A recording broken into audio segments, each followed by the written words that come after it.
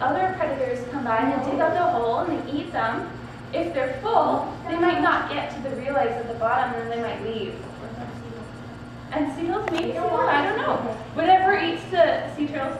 So, and it also might help maybe if they didn't bury them enough and the sun is shining down, it won't dry up the real eggs. It'll dry up the fake eggs and then the fake eggs might, might um, provide some shade for the real eggs underneath that need to stay nice and cool and warm. I, I mean, cool and wet.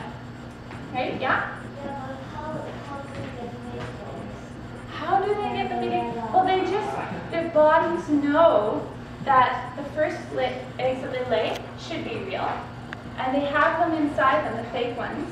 And they produce them ahead of time. And so the and so when they lay them, the last ones they, they lay are the fake ones. So it's already in their body and their body knows. Okay, so I'm going to go to the next slide. Video? Is there a video? It is a video. Ah, sit down. Sit down. So this is what happens when oh, What is the a bunch. So all at once, Sit.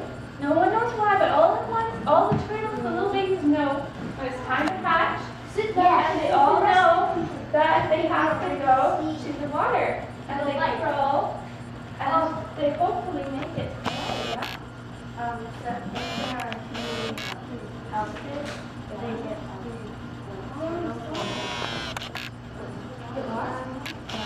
Oh yeah. Because they um, like the light. That's They right. follow the light. and go to that. Yeah, light is a big problem, and we're gonna talk about the Oh light. yeah, and the six because we on the other Um, there's some, there's some animals that do take advantage of this time. They, um, there are predators that will eat the turtles when they're on the way.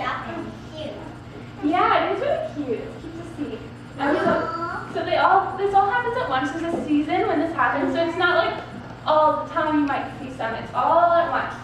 Not just like, you know, around the year, but at one season. Yeah? Um, and also, um, that when sea turtles go to the ocean and they grow up, they, they later is on the same beach. That's but right. if they're surfing on that same beach, on the beach that they were born on, they'll, they'll go back, they'll go back there and then their bodies all blood. That's it. Did everyone hear that? Because they're um, they like Yeah, did everyone hear that? So they, the, I don't, no one knows why, but for some reason they always come back to the same beach when they grow up. When these little babies get big and they grow up and they come back, they'll come back to the same beach that they were born at and they'll lay their eggs. So if something changes at this beach and the environment is not the same, it might cause problems for the next generation. So I'm going to the next one. No, no, it's over, no. Why are they endangered? Does anyone know? No, I know you were here last time, so I can ask someone else, yeah?